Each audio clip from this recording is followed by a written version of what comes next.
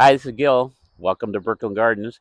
Today we are going to walk through this portion of the nursery where I have the majority of the nursery stock, and we're going to talk about some of the plants and um, and the, the the types of sales we're going to have this year and what's going on here at Burkland Gardens. So, and we're going to have a second video coming up um, soon as well. And I'm going to talk about um, some changes here at, at Burkland Gardens. So, um, stay tuned for that. And I think some of you that are would like mail order plants will be interested in what we're going to be talking about on that video. So, so we've got the um, you know just this the the front part of this center part of the nursery. You know, we did a video on uh, container putting your uh, conifers in containers. You know, we've got you know these available in a variety of plants. I've got these ground covers, not a wide variety, but this one called Angelina. It's a um, sedum rupestre, and then I've got one other sedum, and I've I have 20 or 30 of these flats available, and people buy them, and um, and you can break them apart and plant them. So they're an inexpensive way to buy buy the sedums. This one turns a nice bright gold in the summertime, and it has a bronzy effect during the wintertime. So it's a, a nice addition to the garden. So over on um, the other side here, we've got several boxes filled with mostly two, some three gallon um, conifers, and just a variety of, of uh, things. A, lot of pines in this bed, but I always have, there's a larch going on here. Um, one of the contorted ones that I have. The things that are gold are still gold, but most of them will be turning back to green, especially the Mugo, Mugo pines. So um, and then, uh, let's see, I've got a interesting, um, this one's called Uncle, Uncle Fogey. It's a, a Scotch pine. And Kotobuki, the Japanese black pine. Karsten's winter gold. Got this flat growing fir right here, noble fir. Uh, Glauca to remember. This is um, so I have about ten of these. They're Vanderwolf's pyramid. They're they're produced quite, um, you know, in, in, in good numbers because they're they're they're sold as a a nice pine to the tree. It's an upright habit, but will get to be a large tree. Over here, I've been holding on to these these plants over here.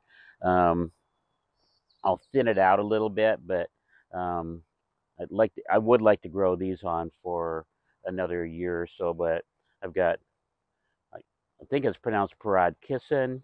It's a Pinus uncinata. It's a Mugo subspecies. Um, really tight, and you can see the buds just forming there, and they're very short. Let me get this little twig out of the way, but you can just poke your hand in and feel how tight those those are, and the little buds right right there getting ready. So um, I really like that, that plant a lot. We have some green penguin Scots pine, some mugo pines called Varella. It looks almost identical to green penguin, but it's more globose. And I've got a really miniature um, mugo pine here. I've, I've called it HB horsewood, but it might be WB. WB usually meaning a witch's broom. So it's a tiny little thing. And a little mugo called Rada over right over here.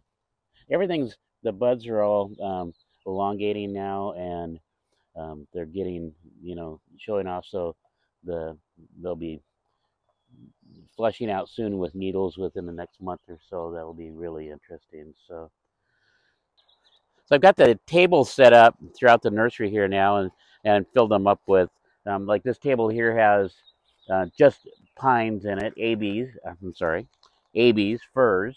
And here's a really, really nice one um, called, it's a, it's a hybrid one called Blue Hurricane, uh, carpa.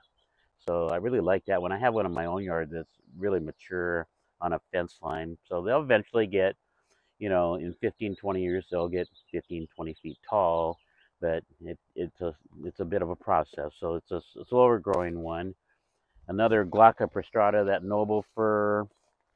Um, here's one tree. It's grafted onto Firma. It's silver pearl. So that's that really uh, Korean fir that grows really slow, slowly. Not as silver looking as uh, icebreaker, but still a very nice tree.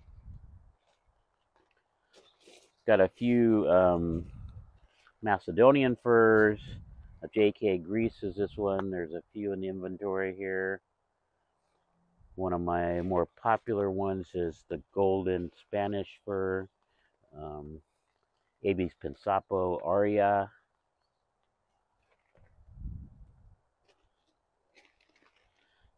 And there's a few others in here. Golden spreaders, always I have always have a, a number of those. So that's that, and then we have more firs in the back corner back here, and then just ta- several tables of um, pines, are yeah, and um, so we've got this one's got a really nice blue. Um, it's called Pixie, and um, uh, more of a globose um, look to it. Really, um, really like it. There's a little grouping of them right here. And then the green twist, which is always one of the more popular ones at the nursery. It's a Pinus strobus.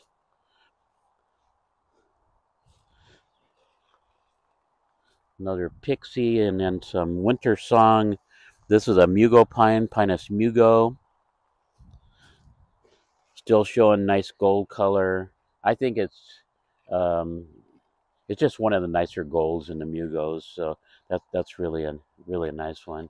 And this Scotch pine is called Pinus sylvestris is John Boy, another one of those um, ones that doesn't get grow slowly, just two or three inches a year. Um, there's a, a number of them, Little Ann and Jeremy, and I've got a cupcake here on the table as well. Um, you know, like the we talk about what's in a name of a, a tree. I think cupcake is one that I I would gravitate more than John Boy, but I like John Boy as well. So, um, more pines this way. We've got uh, a Rocky Mountain pine, Pinus flexilis, Cesarini blue here. Some sea urchins up here. Jacobson right here. One of my favorite Mugo pines. I think this one. What do I got here? Oh, I think this is an interesting one. I don't really. It's called. It's a Pinus sylvestris called Blue Cheese. So you can see a little bit of.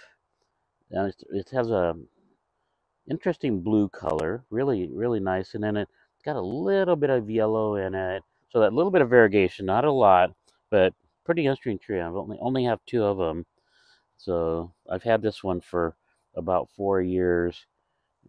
Probably about a seven-year-old plant right here. This one here, same thing. You can see a little more pronounced of the yellow variegation going on in it. So, so those only have the two. Another one of the twisted um, it's Pinus banksiana. So it's a, a jack pine, and um, Uncle Uncle Fogey. I think I pointed one out earlier. So it has that twisted look to it. Another Jacobson.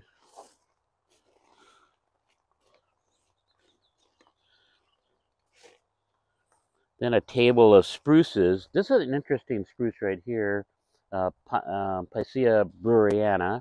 It grows in Northern California, a little bit up into Oregon. It's called emerald midget and it grows slowly. It grows a little differently than the species in that the species the branches all hang down um, off a off the branch, so um, off the main branch, and this one here is going to be just fairly tight conical small tree.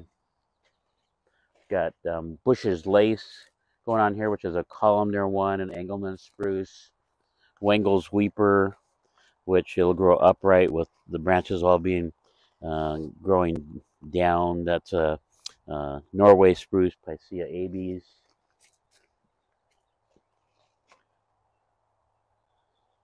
And then another little group of pines over here, a, a variety of them. Um, got a boxwood. I've been um, planting a few things along the edge here too. We've got a um, a spruce over here, Picea glauca, the with the immature foliage. This is the one that has some blue going on in it. A couple different beds, bed here, and then moving on to the larches. Just a, we have several. They're just coming into into leaf right now. The needles are growing, and this color is really outstanding. So we have a video on larches that's coming out, but we've got a group of these larches, so we'll we'll mention these. But I've grouped them all to, as much as I can together, so they're all in one place right here. And then we'll move along to we've got also the other deciduous conifers like the Dawn redwood. I don't have a lot available. I've got silhouette. I've got um, gold rush, which I'm just down to the last of, of those now. Got a coastal redwood with a, a columnar one. That's the only one um, that I have in the inventory. Grouping of a little bit larger spruces. This one here has got some gold variegation Aureus spicata. Blue spruce, low growing ones. Another big group of um, Abies firs in here. Lots of icebreakers um, Greg's broom, which is a flat growing fir. Alaska weeping cedars in this area, here. This one here is called Sparkling Arrow. Um, and I've got a few of those, and then Glauca prostrata, which is real, really popular um, one in the last 10, 15 years in the landscape. More of the blue alpine firs. Got a nice silver pearl on a standard. Lots of little um, pollen cones on this on this. So um, and then the ginkgos are just starting to leaf out now. I'm gonna pick this one up here. This one here is actually this one is just one that was growing in the yard, and I don't have didn't have a name for it. It's a a larger one, um, but uh, the, uh, leaves are just coming out. And then we've got quite a few of the smaller leafed ones, slower growing ones in here that we might have talked about before. And then some that are grafted up on high on the standards. So, and then things are still in the ground over here. Groups of larger pines um, off off over this way here.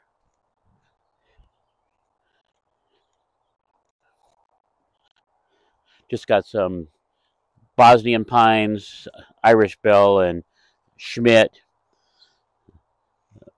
Um, got a few green penguins, Karsten's winter gold, some Jacobsons again, and Dave's choice Demugo, which I like a lot over there. And so I still have uh, 10 of those or so. So put a few of the um, trees over here, Katsuras, that I have left, grouped them up uh, paper bark maples,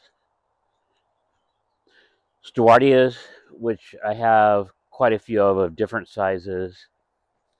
Got a little Japanese maple here called Red Dragon. So group these up together so people can see them in one, one place uh, with the deciduous uh, trees. Thanks for watching today. Hope you enjoyed the video and stay tuned for more announcements and more videos from Burkland Gardens. See you later.